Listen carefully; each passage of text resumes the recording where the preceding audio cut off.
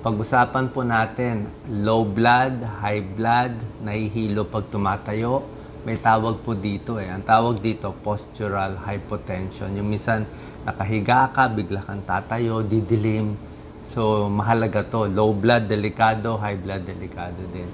Okay, ganito po ginagawa natin. Pakita natin. Check ninyo ang blood pressure ninyo, nakaupo at nakatayo. Okay, bilang cardiologist at internist, ito lagi tinuturo namin.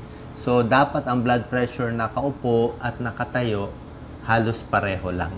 Okay? Pag tumaas, biglang tumayo, chinek ang blood pressure, biglang bumagsak ang blood pressure, postural hypotension yon Iba ang gamutan. Explain po natin ha.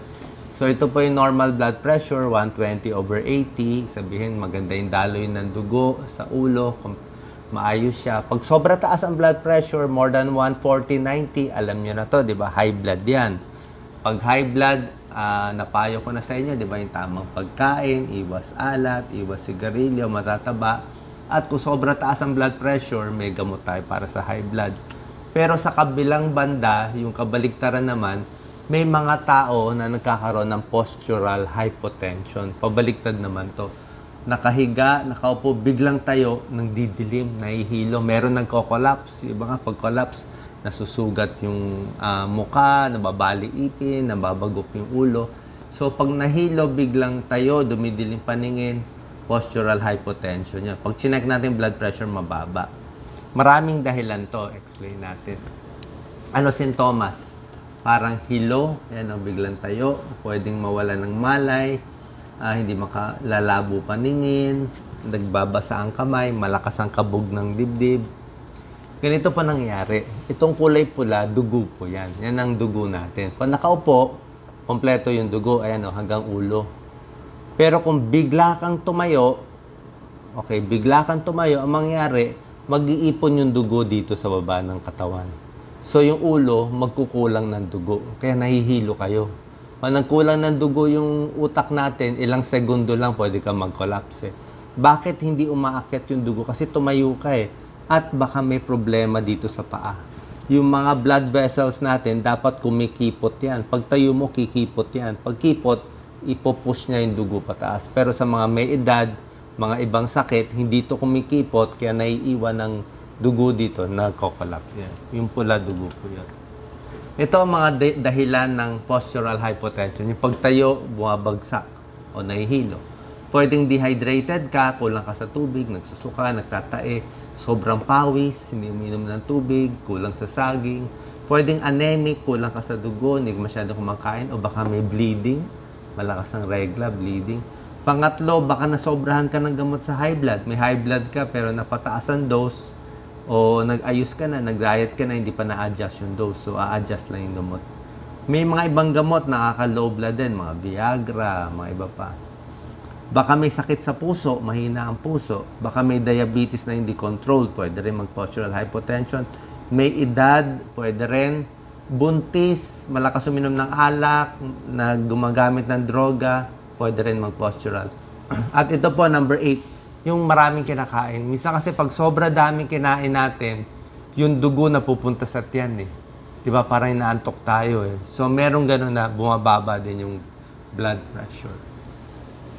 Ito po yung postural hypotension, tachycardia syndrome. Ito po yung mga sintomas.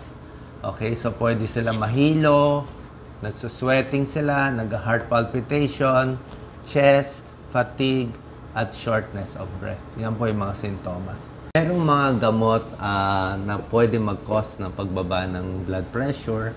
Uh, itong mga gamot, antidepressant para sa high blood at mga ibang gamot. Okay, yung mga pampaihi, pwede rin. So, ina-adjust to ng doktor. So, kung nahilo kayo, uminom kayo ng ganitong gamot, eh, baka tatitigil muna ng doktor or babawasan yung dosis.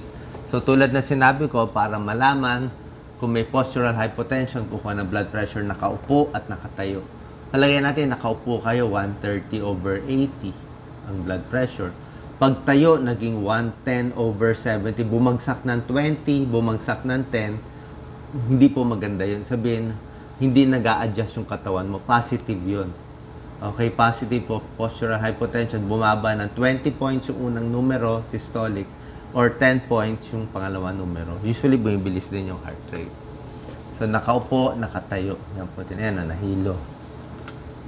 Anong mga test gagawin? Papa-ECG, complete blood count, kung anemic, sodium, potassium, kung may electrolyte problems, creatinine para ma-check ang kidney. So, ang mga first aid natin, pag nahilo, higa muna o upo. Para yung dugo, ito yung kulay pula, bumalik sa utak. Minsan nga, tinataas pa natin yung paa. Pwede i-cross yung legs. Yan, kinocross ang legs. Pinapump ang legs. Kasi sabi ko, galaw-galaw ang paa. Yan, oh, pwede sikad-sikad. Yung iba squat, siguro kung medyo bata. Kung may, may edad, baka hindi rin okay mag-squat. So, ito yung mga treatment natin. Pag dehydrated, bigyan ng tubig, fluids. ORS o Resol, pwede ibigay. Pag anemic, kumain ng mga pagkain mataas sa iron. Pwedeng iron supple- supplements. Pag nasobrahan sa gamot, a-adjust, ibababa yung gamot. Pag may sakit sa puso, may diabetes, gagamutin yung diabetes at sakit sa puso. Pag may edad, dahan-dahan lang pagtayo. Pag sobra lakas kumain, dahan-dahan lang yung pagkain. So ito po, minsan nangyayari itong postural hypotension, yung biglang pagtayo, nahihilo. So mag-ingat tayo sa low blood at sa high blood. God bless.